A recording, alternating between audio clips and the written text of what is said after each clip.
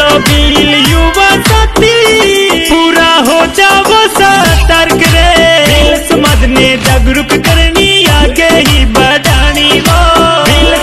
ने जागरूक